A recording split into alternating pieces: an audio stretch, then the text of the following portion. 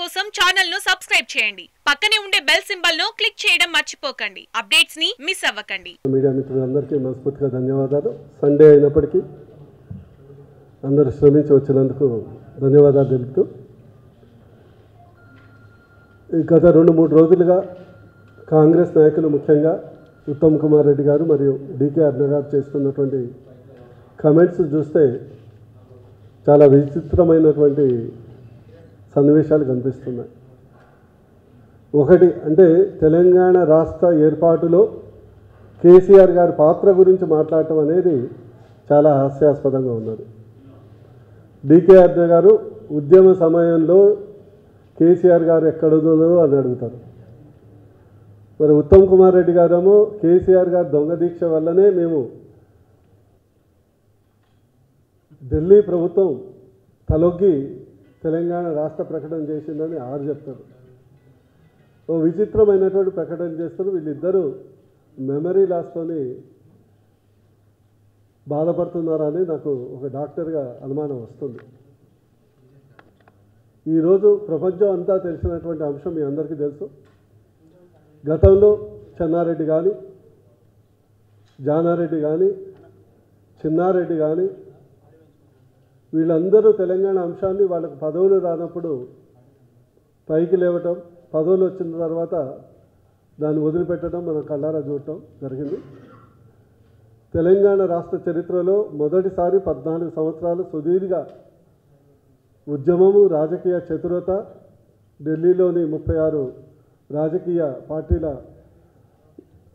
తెలంగాణ అనుకూల ప్రకటన వీటన్నిటి వల్ల తెలంగాణ రాష్ట్ర ఏర్పాటు ప్రధానంగా మలిదర్శ ఉద్యమంలో గౌరవ ముఖ్యమంత్రి చేపట్టినటువంటి నిరాహార దీక్ష కీలకంగా మారి యావత్ తెలంగాణ పార్టీలకు అతీతంగా ప్రజలందరూ ఏకతాటికి మీద రావటం వల్ల తెలంగాణ రాష్ట్రం ఏర్పడిన అంశం.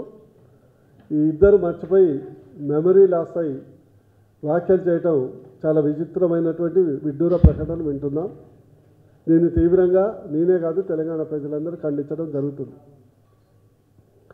ఇకపోతే వారు దొంగ దీక్ష అన్నారు కదా మరి దొంగ దీక్ష మరి కాంగ్రెస్ నాయకులు ఎందుకు చేయలేకపోయిందో అర్థం కాదు. అప్పుడు రాష్ట్ర ప్రభుత్వం కేంద్ర ప్రభుత్వం రెండు కాంగ్రెస్లే ఉండే. కానీ ఆడలేనమ్మ మద్దతు అన్నట్టు మొత్తం అయిపోయినాక తెలంగాణ రాష్ట్రం ఏర్పడిన తర్వాత తెలంగాణ రాష్ట్ర ఏర్పాట్లో ప్రధానంగా ఒక వ్యక్తి కీలక పాత్ర ఎవరుందంటే ఎట్లయితే భారతదేశ స్వాతంత్రంలో మహాత్మా కరమ్చంద్ గాంధీ అని చెప్పుకుంటామో హండ్రెడ్ పర్సెంట్ పార్టీలకు అతీతంగా ఎన్నికలకు అతీతంగా ఏ పిల్లవాడిని తెలంగాణలో కానీ భారతదేశంలో అడిగినా ఖచ్చితంగా కేసీఆర్ అని గంటాపదంగా చెప్తారు.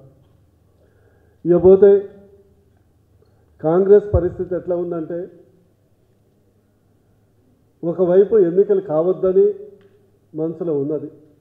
ఎన్నికలు ఎంత దూరం వెళ్తే ఎంత లేట్ అయితే ఎంత బాగుంటుందని మనసులో ఉంది. చల్లకొచ్చి కుండ దాచినట్లు బహిరంగంగా చెప్పలేకపోతున్నారు. వాళ్ళు ప్రజాక్షేత్రాన్ని వదిలిపెట్టి ఈరోజు హైకోర్టు సుప్రీంకోర్టు మధ్యలో ఎలక్షన్ కమిషన్ ఆఫ్ ఇండియా. వీటి మూడింటి మధ్య వారి రాజకీయ ప్రస్థానం కనిపిస్తుంది.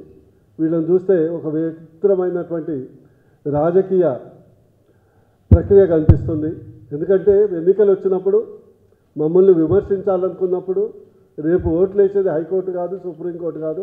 ఖచ్చితంగా తెలంగాణ ప్రజలు ఓట్లేస్తారు కాబట్టి తెలంగాణ ప్రజలు మర్చిపోయి తెలంగాణ ప్రజల ఆకాంక్షను మర్చిపోయి ఈరోజు ఎన్ని రోజులు లేట్ అయితే అన్ని రోజులు మేము బతుకుంటాం అనే విధంగా ఒక ఎలక్షన్స్ని అనేక రకాలుగా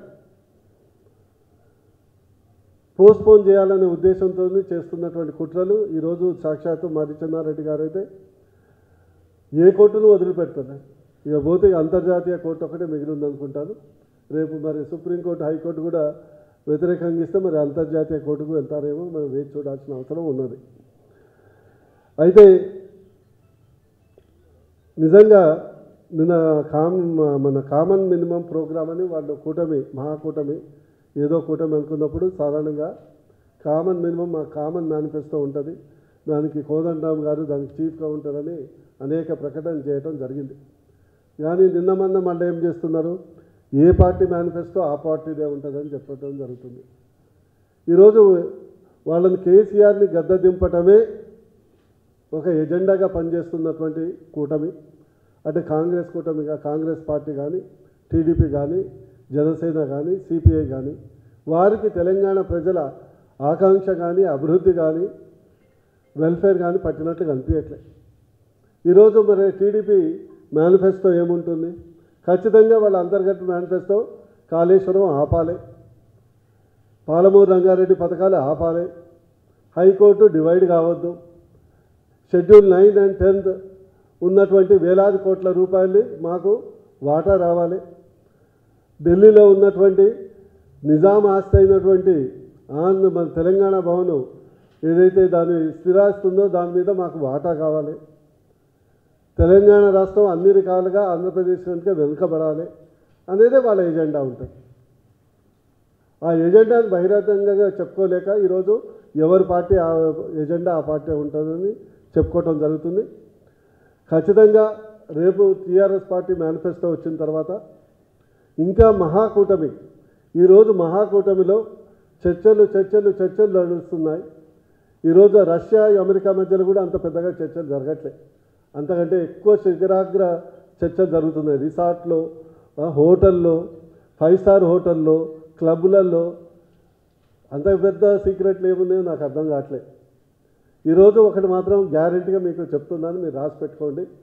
ఏ రోజైతే వాళ్ళు సీట్లు అమ అనౌన్స్ చేస్తారో ఆ రోజు మహాకూటమి విచ్ఛిన్నం కావటం తథ్యం. నేను ఒకటి మాత్రం ఖచ్చితంగా చెప్పదలుచుకున్నాను. రేపు టీజేఎస్కు టీ సీట్లు ఇచ్చిన సిపిఐకు సీట్లు ఇచ్చిన తెలుగుదేశంకు సీట్లు ఇచ్చిన అందులో ఎనభై శాతం సీట్లలో కాంగ్రెస్ రివర్స్ పోటీ చేయక మానరు. మిగతా వాళ్ళు ఇప్పటికే చాలామంది మా దగ్గర అప్లికేషన్ పెట్టుకోవటం ఉన్నారు. అక్కడ అనౌన్స్ కాగానే నెక్స్ట్ విస్ఫోటం అనేది మీకు కనిపిస్తుంది.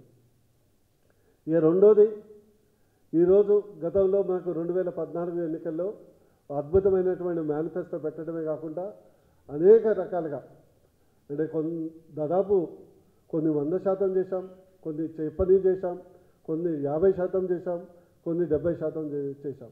తెలంగాణ ప్రజలు మాత్రం ఒక గ్రామాల్లో పోయినప్పుడు కామన్ ప్రజలు ఒక క్లారిటీతో ఉన్నారు. అనేక అంశాలు ఈరోజు కొంత మిగిలి ఉన్నాయి. కాళేశ్వరం ప్రాజెక్టు కానీ హైదరాబాద్ అభివృద్ధి కానీ పాలమూరు రంగారెడ్డి ఎత్తిపోతల పథకం కానీ ఇండస్ట్రియలైజేషన్ కానీ ఎంప్లాయ్మెంట్ ఇంకా మిగిలినటువంటి కానీ ఇవన్నీ కంప్లీట్ కావాలంటే ఖచ్చితంగా గౌరవ ముఖ్యమంత్రి గారు మళ్ళొకసారి ఇప్పుడు ఆపద్బ గతంలో ముఖ్యమంత్రి ఇప్పుడు ఆపద్బ ముఖ్యమంత్రి మళ్ళీ కాబోయే ముఖ్యమంత్రి కేసీఆర్ గారు ఉంటేనే సాధ్యమవుతుంది.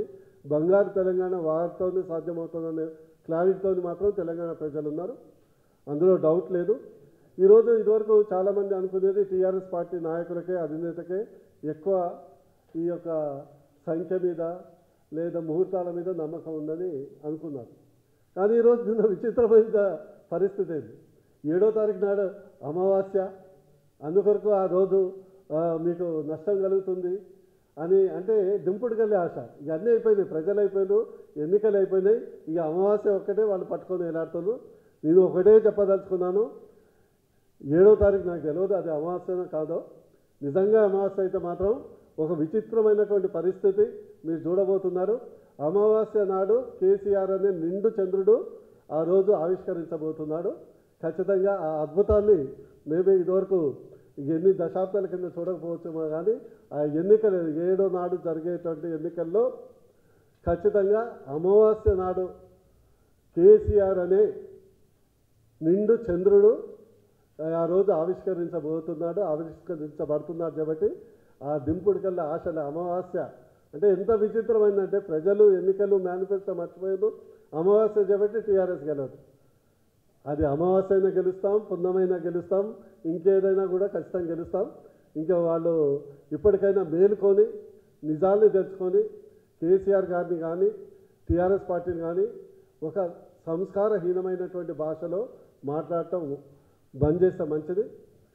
డీకే అర్ణ గారు మాట్లాడుతుంటే చాలా విచిత్రం వేస్తుంది. నిన్న చాలామంది సోషల్ మీడియాలో వారు అనంతపూర్లో నీళ్ళు వదులుతుంటే హారతి పెట్టినటువంటి దృశ్యాలను మనం సామాజిక మాధ్యమాల్లో చూస్తుంటే అందరూ ఉమ్మిచ్చి ఉమ్మిస్తున్నారు ప్రజలు.